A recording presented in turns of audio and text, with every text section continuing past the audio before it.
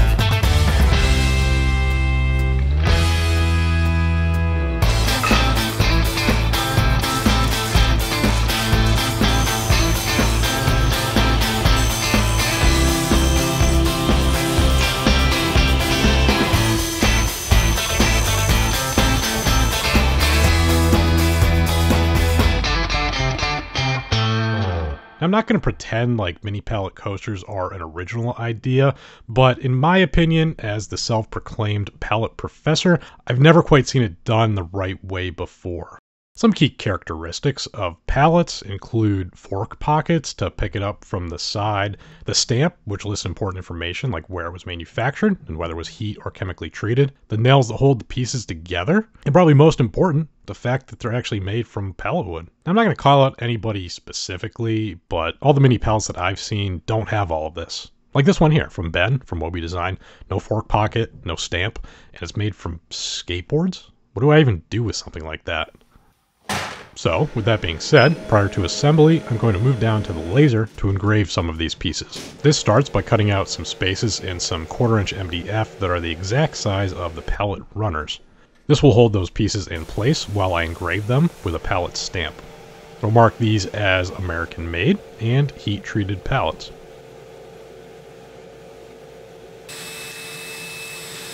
And while I'm at it, I cut out spaces for the wide pallet slats too, and engraved 200 of them with the Isotunes logo, and 200 of them with the Jackmanworks logo, which will both go on the underside of the pallet. And while I'm already letting the robots do all the work for me, I use the same quarter inch MDF and cut what looks like the front of a Jeep in it, but no, this is much more useful than that. These will be pieces that will turn into a jig that will assist me in assembling all of the pallets Make it go from a process that is excruciating to simply just agonizing.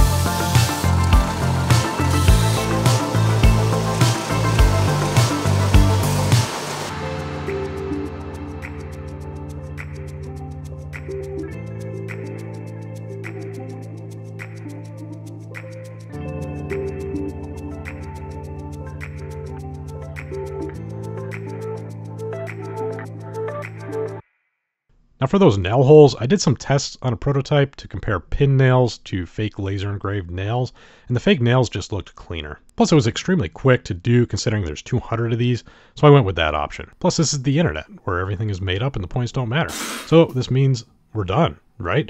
Well not quite. There's still varnishing, polishing, and packaging. And before that there's sanding, along with some sanding with a side of sanding and uh, some sanding for dessert too.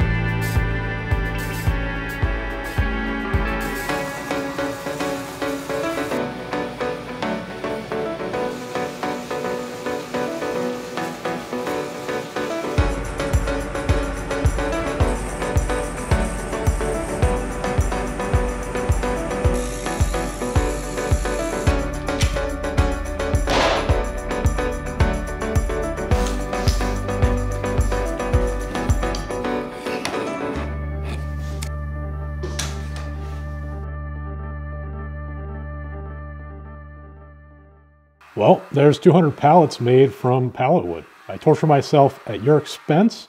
I hope you at least appreciate that. Now, if you want to get your hands on a piece of history, I know it's a bit of a stretch, but you can do that thanks to Isotunes, the sponsor of this video, and a longtime supporter of the stuff that I do here. Now, Isotunes makes hearing protection for the shop that isn't just that, it's also Bluetooth headphones at the same time. Now, they come in a bunch of different configurations depending on your personal preference. My go-to right now is the FreeAware, which I'm currently wearing, completely free from wires, a full day of battery life on board, even a long day, and then with the charging case that comes with it, that gives you a few more days of battery life. There's also earmuffs if you prefer that, like the Link 2.0 you saw me wearing during this build, or a very basic lightweight pair like the Air Defender. And then there are the wire connected options like the Pro that I really like that has a hook over your ear. It's very secure. The Xtra actually magnetizes when you pull them apart and put them back together. That pauses and plays your music. Ultimately, it is PPE that you actually want to wear, and that is a win in my book. Now here's the deal. You can get a pair of these coasters for free with your headphone order.